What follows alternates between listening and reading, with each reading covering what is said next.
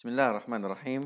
هنواصل إن شاء الله مع ملزمة آه، مايكرو التحاليل في صفحة 42 بعنوان Gram negative cocci. هنشوف مع بعض البكتيريا اللي هي بتكون لونها أحمر وشكلها كروي و في أكتر من عيلة بتكون تحت الميكروسكوب شكلها Gram negative cocci. منها عيلة مشهورة جدا اسمها عيلة النيسيريا. وهي Gram negative. aerobic بتحب إنها تعيش في وجود الأكسجين.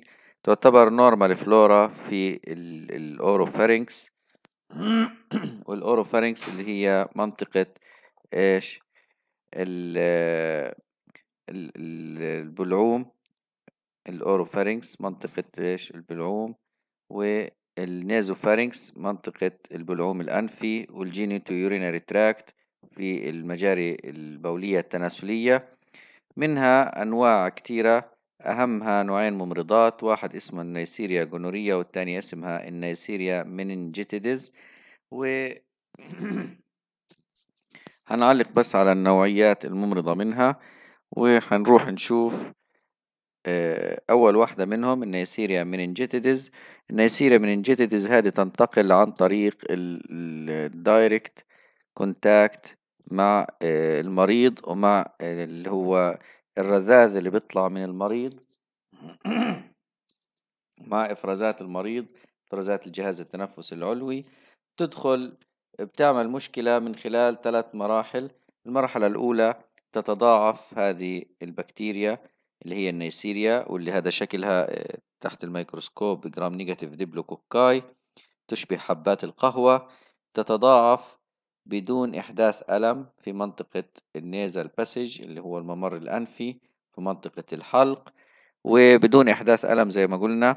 بعدين بتنزل على الدم في الدم ممكن إنها تفرز سموم وتسبب حرارة وبعض الأحيان راش الراش هذا بسموه مننجوكوكسيميا إن ظهر الراش آسف إن ظهر الراش على المريض زي هذه الصور. بسموا الحالة هذه مننجوكوكسيميا. هذا الراش ناتج عن سموم النيسيريا مننجيتيدز إن وجدت في الدم. آه، طبعا هو عبارة عن آه، تمزيق للأوعية الدموية اللي تحت الجلد وممكن يعمل يعني جلطات صغيرة تسد المجرى الدم اللي رايح على الأطراف فيصير في غرغرينة في الأطراف وتؤدي لبتر الأطراف وممكن تكون قاتلة خلال ساعة أو ساعتين من وصول المريض للمستشفى. إن ظهرت عليه الراش هذه خلال ساعة زمن إذا ما لحقوش ممكن يموت وهذه اللي بسموها السحايا الجلدية. فيها تفاصيل كتيرة مش هنعلق عليها كتير لكن الآن هي زي ما قلنا عملت تضاعف في منطقة الأنف والحلق ونزلت على الدم. من الدم ممكن تروح على المننجز والمننجز اللي هي مين؟ اللي هي آه، الأغشية السحائية المغلفة للمخ والحبل الشوكي وتؤدي بالنهاية إلى إحداث الحمى الشوكية أو meningitis.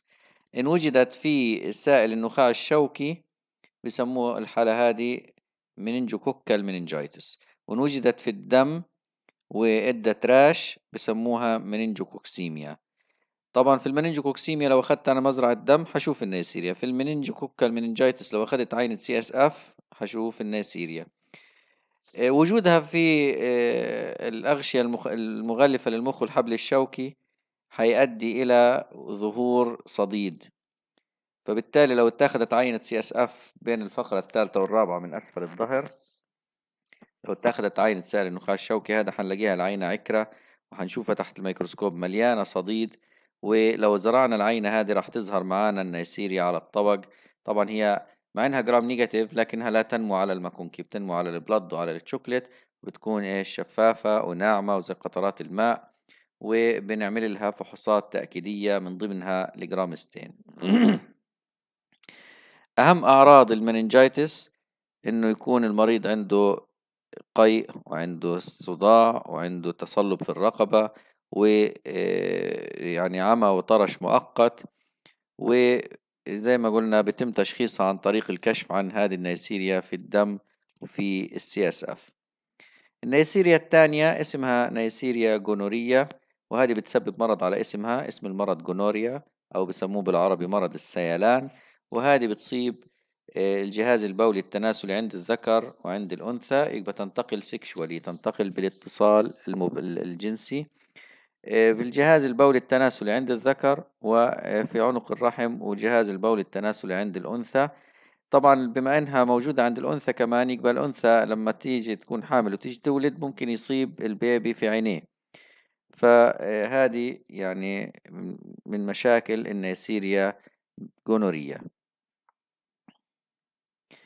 النوع الثالث أو النوع الثاني من ال Gram negative cocci النوع الأول كان النيسيريا النوع الثاني ال Haemophilus وال Haemophilus هذه بكتيريا يعني آه، متعددة الأشكال تحت الميكروسكوب. بشوفها عصوية على كروية على coccobacilli على على diplococci مشكلة في نفس ال field الواحد بشوفها mix من الأشكال. بسموها في الحالة هذه pleomorphic آه ال species تبعتها النوع اللي المشهور والممرض اسمه Haemophilus influenzae. ال Haemophilus هذه تعتبر جزء من ال normal flora برضو في الجهاز التنفسي العلوي. النوع الممرض إيش سميناه؟ Haemophilus influenzae. ممكن تسبب أمراض كتيرة ال Haemophilus influenza منها ال meningitis لكن حاليا الأطفال صاروا بياخدوا تطعيم ضدها اسمه Haemophilus influenza group B HIB Haemophilus influenza group B. وهنا كلمة Haemophilus influenza لا تسبب إنفلونزا. هي اسمها هيك Haemophilus influenza. هذاك اللي بيسبب إنفلونزا اللي هو الفيروس تاع الإنفلونزا. لكن هذه ما بتعمل انفلونزا هذه بتعمل التهاب سحايا بتعمل التهاب حاد في لسان المزمار بتعمل pyogenic arthritis يعني التهاب مفاصل بينتج عنه صديد بتعمل conjunctivitis التهاب في ملتحمة العين وبتعمل middle ear infection التهاب في الأذن الوسطى وممكن تعمل إيش؟ pneumonia هذه الكلام اللي بدنا نعلق فيه بس على ال Haemophilus أما تفاصيلها وكيف نشخصها في المختبر حنسيبها لمادة ال diagnostic microbiology. العيلة الثالثة من ال Gram negative cocci اسمها بروسيلا وبدنا نربط دائما بروسيلا بكلمة Malta fever حمى الحمى المالطية. all human infection come from animals. هذه تنتقل من الحيوانات فبالتالي بسموها إيش؟ سموها zoonosis وين كلمة zoonosis هذا هي. لأنها تنتقل من الحيوان للإنسان بسموها ال zoonosis لا تنتقل من إنسان لإنسان وتسمى زي ما اتفقنا من الحيوان للإنسان تسمى zoonosis ال Brucella melitensis طبعا في أربع أنواع منها melitensis و abortus وإحنا هنحفظ واحدة بس اللي هي ال Brucella melitensis مرتبطة بمرض مشهور بيصيب الإنسان اسمه الحمى المالطية. البروسيلا بشكل عام بتعيش في داخل الخلايا. عشان كده لا يمكن تنميتها في المختبر وإنما بيكشفوا عن الأجسام المضادة في الدم serology يعني. ال genus Brucella is composed of gram negative coccobacilli لو أنا صبغتها لو أنا فرضنا إنه قدرت أنميها وصبغتها هشوفها coccobacilli يعني لا هي cocci ولا هي bacilli أقصر من ال cocci وأكبر من ال bacilli فبسموها coccobacilli هي يعني زي الشكل البيضاوي كده عاملة. أهم أعراضها ولو جاك سؤال عدد أعراض البروسيلا الوعكة والقشعريرة والضعف والحرارة المتقطعة. هنروح بعد كده على ال Gram negative bacilli اللي هي ال bacilli اللي شكلها Gram negative ولونها أحمر. آه، معظمها معويات بتكون موجودة في الأمعاء. منهم منها نوع مشهور اسمه Escherichia coli وبنختصرها بكلمة E. coli وهي جزء من الفلورا الطبيعية الموجودة في الأمعاء في الإنسان وفي الحيوان كذلك موجودة في المية وفي التربة وفي الخضروات أو على الخضروات. آه، ممكن تكون المسبب الرئيسي لالتهابات المجاري البولية ال UTI لأنها تنتقل من الأمعاء إلى المجرى البول بحركة ميكانيكية اللي بياخدها من فتحة البراز بتروح على فتحة البول وبتنطلق هناك لغاية ما تصل المثانة وتصل الكلى وتعمل اي لو راحت على جرح بتعمل wound infection لو راحت على الزايدة الدودية بتعمل appendicitis لو راحت على ال peritoneum ممكن تعمل التهاب لل peritoneum اللي هو الغشاء المغلف للأمعاء البريتونيوم طب لو دخلت الدم تعمل بكتيريميا لو راحت على المننجز ممكن تعمل مننجايتس طيب في منها أنواع عايشة في يعني بتنوجد في الأمعاء لكنها ممرضة؟ آه في. ممكن تعمل إسهال. مع أنها هي بتعيش في الأمعاء طبيعي لكن في منها أنواع في منها سلالات تستطيع إنها تحدث مرض في الأمعاء فتعمل إسهال خصوصا عند المواليد الجدد وعند المسافرين. ففي منها أربع أنواع حنذكرها إن شاء الله بس نتكلم على diagnostic microbiology enteroinvasive Escherichia coli و enteropathogenic Escherichia coli. أربع أنواع مش حنعلق عليها كتير. آه، كلها تتبع عيلة ال Escherichia coli لكنها ممرضات.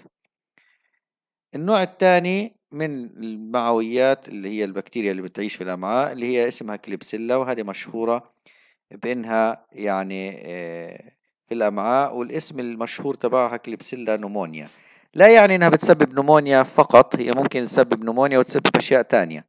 لكن هيك اسمها ال genus وال species Klebsiella pneumonia. شكلها على الطبق حجمها كبير حجم المستعمرات كبير آه، مستديرة مرتفعة مخاطية large و sticky طبعا الكلام هنا مكتوب على ال nutrient agar لكن الصورة هذه صورة ال Klebsiella على ال MacConkey agar وعاملة fermentation عاملة تخمر لللاكتوز.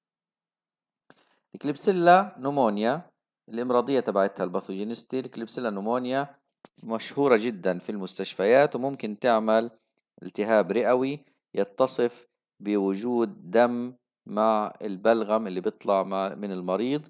كذلك هي ممكن تعمل التهابات مجاري بولية آه، في الحقيقة ال Klebsiella pneumonia هذه تعتبر نمرة اثنين بعد ال Escherichia coli في إحداث ال urinary tract infection يعني لو أنا جبت 100 عينة 100 عينة لشخص لأشخاص معاهم التهابات مجاري بولية وعملت لها مزارع حلاقي 80% منهم أو 70% 70% منهم معاهم Escherichia coli المسبب لل UTI. طيب والثلاثين الضايلين؟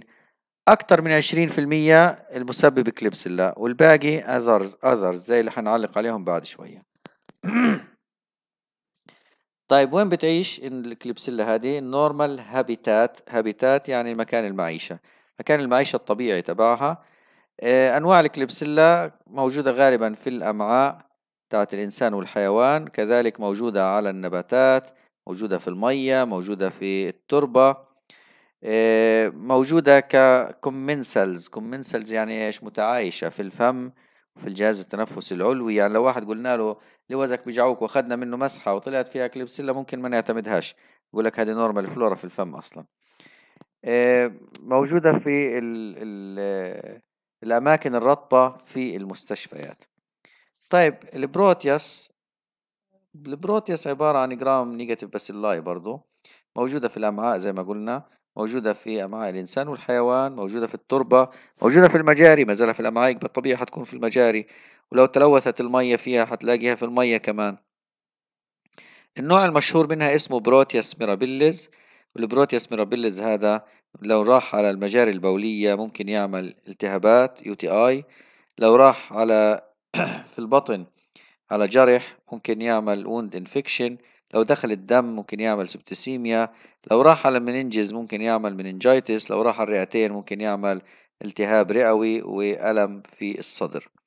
يعني وين ما بروح بخرب. مكانه الطبيعي الأمعاء وين ما بروح بعد كده بخرب. وهذا الكلام عام على معظم الميكروبات اللي حنعلق عليها. طيب كمان حنشوف ال Pseudomonas. Pseudo ال P هنا ساكنة Pseudomonas. هذه ميكروبة مشهورة جدا موجودة ال normal habitat تبعتها. البيئة الطبيعية تبعتها زي ما تو شفنا الباقيين اللي قبلها كانوا في المية وبتحب الأماكن الرطبة كتير في التربة في المجاري في الأمعاء. يعني لو أنا جبت عينة يعني آه، لو قلنا لطفل خد ركبوا له الكيس هذا عشان يجيب لنا عينة بول. راحت المزرعة زرعنا العينة وطلعنا في المزرعة النتيجة لقيناها طالع فيها E. coli وطلع فيها Klebsiella وطلع فيها Pseudomonas وطلع فيها Proteus. في نفس الوقت الأربعة طالعين مع بعض أو اثنين أو ثلاثة منهم موجودين في نفس الوقت في نفس المزرعة هذا يدل على إنه العينة ملوثة ب stool من هذا ال baby. ال baby هذا أو الطفل هذا الكيس اللي مركب له عشان يجمع فيه بول دخل معاه براز وصارت العينة ملوثة بالبراز. طيب ال Pseudomonas aeruginosa is frequently present in hospital environments. في الغالب حتكون موجودة في بيئات المستشفيات وخصوصا الأماكن الرطبة. خصوصا الأماكن الرطبة زي المغاسل زي الطاسات زي ال drains البواليع زي جرادل التنظيف كذلك موجودة في قطرات في براهم في قطرات العين موجودة في البراهم موجودة في آه، ال weak antiseptic اللي هو المطهرات الضعيفة. يعني كلور مخفف مكسور بزيادة نتفة. كحول مكسور بزيادة نتفة. Citrosept مخفف أكتر من اللازم. ممكن تعيش فيه وتتكاثر بدون أي مشكلة. الصابون السائل ممكن نلاقي ناخد مسحة منه نلاقي فيه Pseudomonas يبقى لو أنا أخدت مسحة من الصابون أو من الكلور المخفف أو من ال Citrosept المخفف احتمال وارد إن ألاقي Pseudomonas؟ آه والله احتمال وارد. وهذه شفناها كتير في المستشفيات. طيب الباثوجينستي الإمراضية تبعتها آه، طبعا هو مشهور جدا في قسم الحروق. روح على قسم الحروق حتلاقيها هناك يعني آه، متوطنة بشكل كبير. ليش؟ لأنه الحرق بينتج عنه مكان رطب اللي هي المدة اللي بتطلع مع مع الحرق بتعمل رطوبة ومكان رطب للجرح.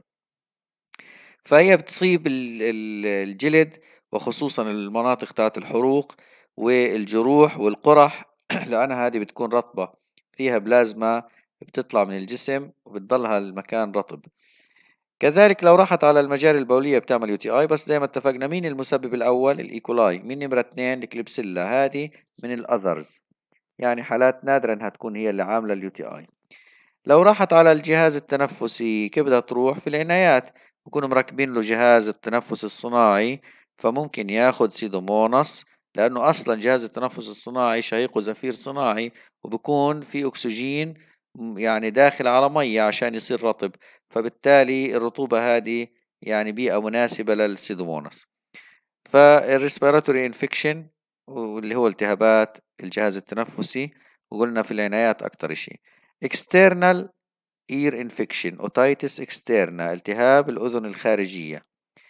eye infection التهاب العين. septicemia تسمم دموي. تو شفنا إنه لو واحد حط قطرة في عينه من ملوثة بياخد عدوى. لو واحد حط برهم واستخدم برهم ملوث بياخد عدوى. هذا الحديث عن ال Pseudomonas. تيجي أسئلة عليها اكتب normal اكتب note short note عن ال normal habitat لل Pseudomonas. عدد ال pathogenicity تبعتها بالشكل هذا الأسئلة. طيب نشوف السالمونيلا والشيجيلا. السالمونيلا والشيجيلا هي ممرضات. إذا وجدت في الأمعاء ممرضات. بتحب تعيش في الأمعاء لكن إذا وجدت في الأمعاء فهي ممرضات.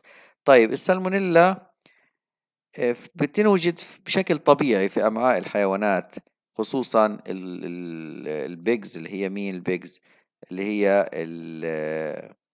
اللهم صل على سيدنا محمد. اللي هي آه، الخنازير. والأبقار والماعز والخراف والقوارض والدجاج وهذه مهمة نقطة الدجاج والدكس اللي هي مين؟ البط. ليش مهمة نقطة الدجاج هذه؟ لأنه أنت بتروح بتشتري الدجاج وبتقطعه في في في المطبخ بتمسك السكينة وبتقطع الدجاج على لوح الفرم فالسكينة تلوثت بالسالمونيلا اللي هي أصلا طبيعي في الدجاج موجودة ولوح الفرم تلوث بعد كده بتاخد السكينة بتقطع فيها الخضار معناته انت حطيت السالمونيلا على الخضار. الدجاجة راح تنغلي وتنسلق وتنطبخ فتموت منها السالمونيلا لكن الخضار مش حينطبخ فحتاكل السالمونيلا من الخضار. كمان الدجاج هذا لو حطيته في التلاجة وما كان تحتيه صحن يلقى المية تبعته فالمية تبعته اللي بتنزل منه حت حتغرق حتوسخ كل ال الأكل اللي تحتيها في التلاجة وتلوثه بالسالمونيلا. سالمونيلا في منها أنواع في منها سالمونيلا typhi في منها سالمونيلا paratyphi غالبا موجودين في الإنسان فقط مش موجودين في الحيوانات.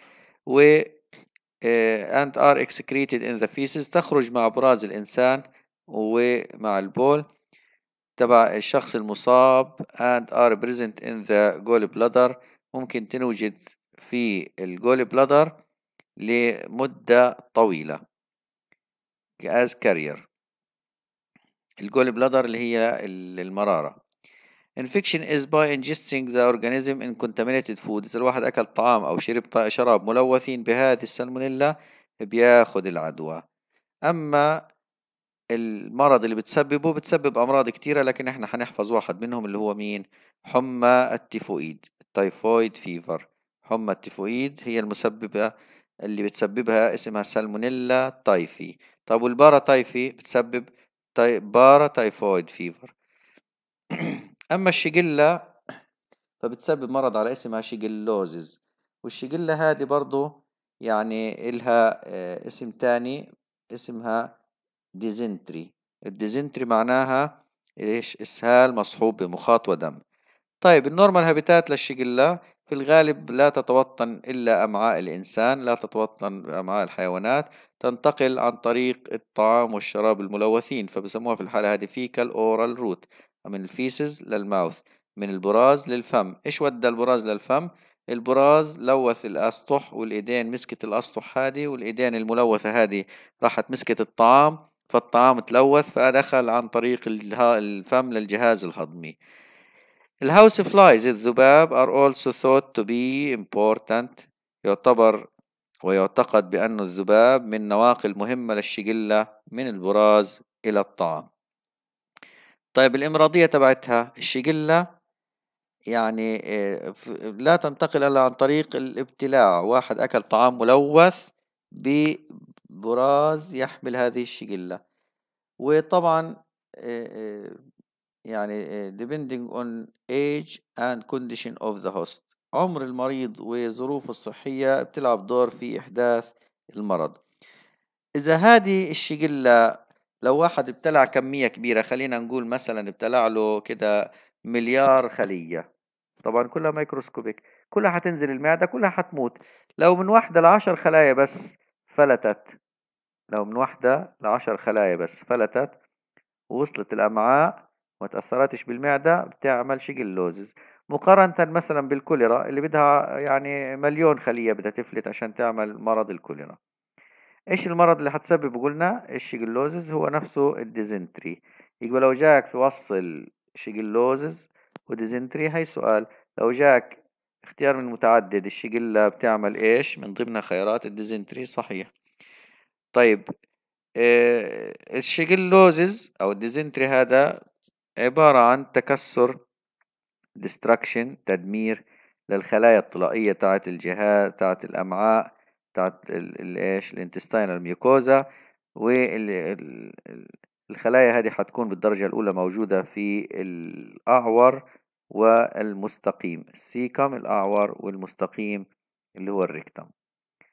آخر حاجة حنشوفها الكوليرا والمسبب إلها vibrio cholerae وقلنا كلمة vibrio معناها الشكل ال comma shape أو شكل حرف الواو أو شكل الضمة. الكوليرا هذه تتصف بأنها بتعمل إسهال شديد. شكل العينة لو قلنا لواحد روح خد لنا هاي كاسة وجيب لنا عينة براز وأنت معاك كوليرا بنسجل إحنا ال color وال consistency مظبوط؟ في أول حاجة في نتيجة البراز بنسجل ال color وال consistency ال color اللي هو لون العينة. وقوام العينة يشبه ماء الرز فبسموها rice water color and consistency يبقى القوام والكلر يشبه ماء الرز. الإسهال هذا بيكون حاد جدا. ستين في المية من الحالات بتموت من إيش؟ الجفاف الشديد. طيب بعد ما يتم ابتلاع الكوليرا بتنزل للأمعاء. الكوليرا الآن راح ترتبط الميكروبات هذه في الخلايا الطلائية بتاعت الأمعاء وتطلق سمومها. إيش اسم السموم؟ اسمها choleragen. choleragen هذا السم تبعها. هذا ال choleragen يحث الخلايا الطلائية هذه على إخراج الأملاح براها.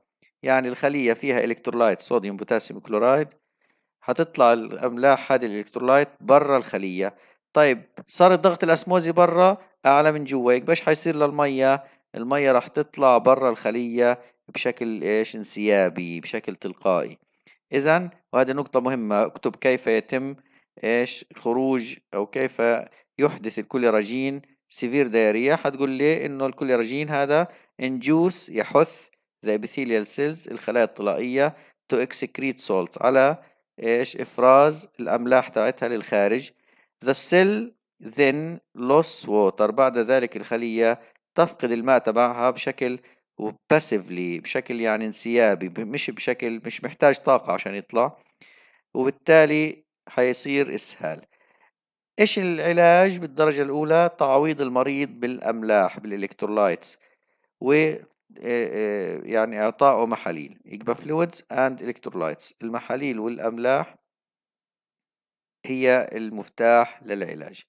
طب واحد عنده كوليرا قلنا له روح هات عينة نزرعها. إيش بده يجيب لي عينة؟ بده يجيب لي عينة feces feces اللي هي عينة إيش؟ براز.